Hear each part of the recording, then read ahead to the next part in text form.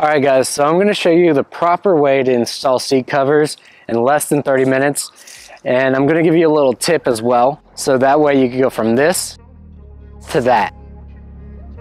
And now I'm going to go head over to my friend's house where I'm going to install this. So I'll meet you guys over there and uh, let's get into the video.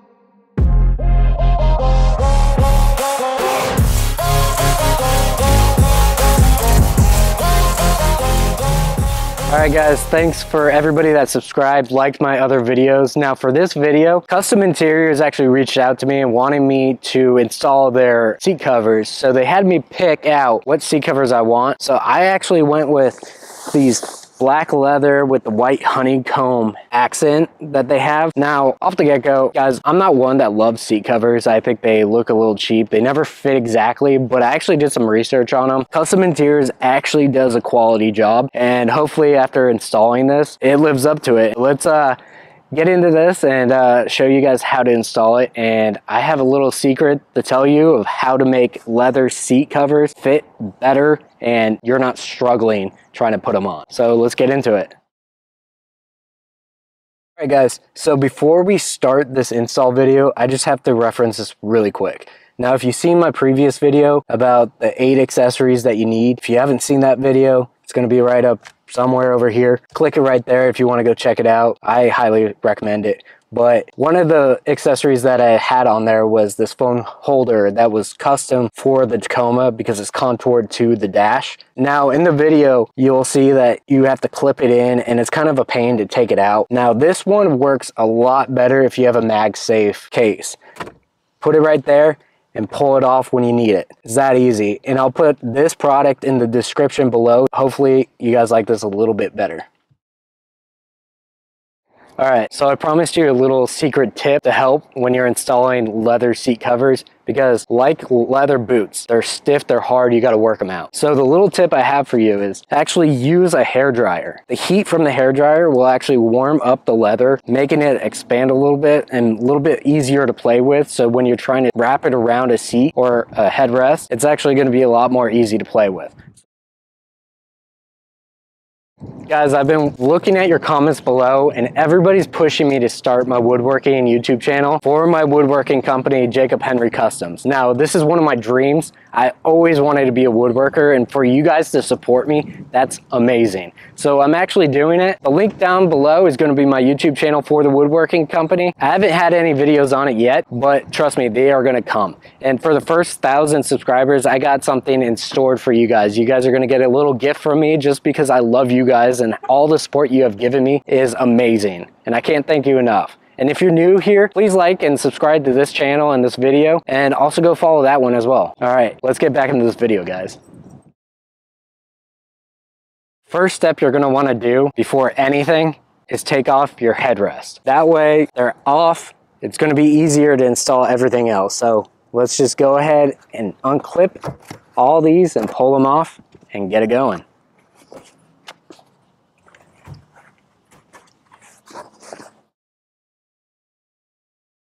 So after you heat up your leather so it's a little bit more flexible, Kustom Interiors, their seat covers come with these little Velcro. Now, I'm thinking every other seat cover is kind of the same way. So you're gonna pull it through and then Velcro it so it's tight. But instead of attacking the headrest, from the front and trying to get it on.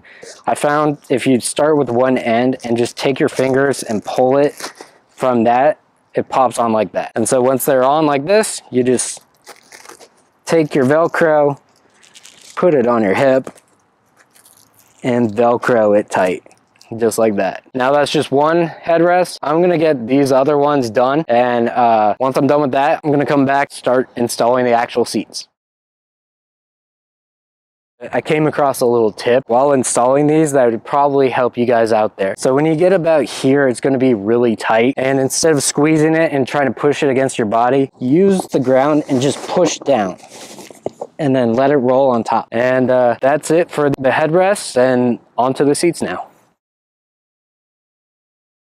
So we're gonna start with the driver's side. And for the driver's side, each uh, front seat's gonna come with a zipper on one side. Make sure the zipper is towards the door to make it easier to take off, take on, and it's just how it's supposed to go. So what you wanna do is take your non-zipper side, put it on the far side, and just pull down.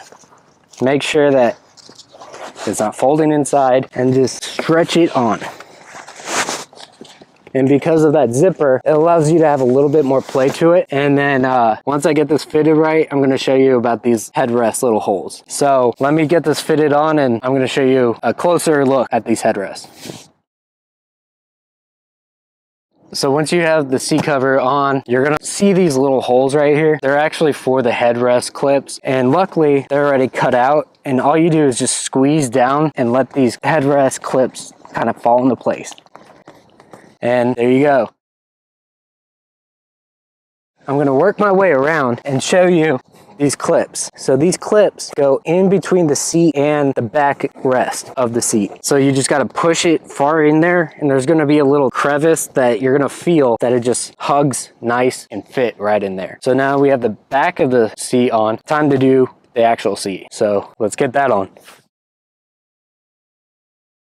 So for the actual seat part, now on Kustom Interiors, they have this clip that goes underneath the seat and you're just gonna clip it like that. And now these hooks, and there's gonna be a bar right under here that you're gonna pull it and attach it to. That way the leather just wraps around the seat nice and tight and looks like it's contoured like it's supposed to be there.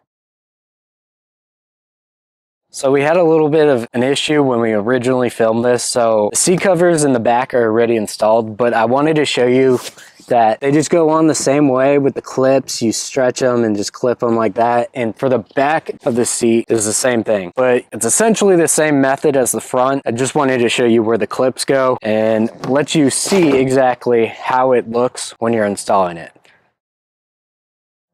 So I just showed you guys how to put in seat covers properly in under 30 minutes. Now, if you guys like this, please subscribe if you're not, and uh, leave a like and a comment and tell me what you want next time. And again, if you haven't subscribed to my Jacob Henry Customs, my woodworking channel, I would love for you guys to do that. You guys told me to do it and I did it. And for the first thousand subscribers, like I said before, you guys are gonna get a little treat. But until next time, guys, I'll see you on the next video.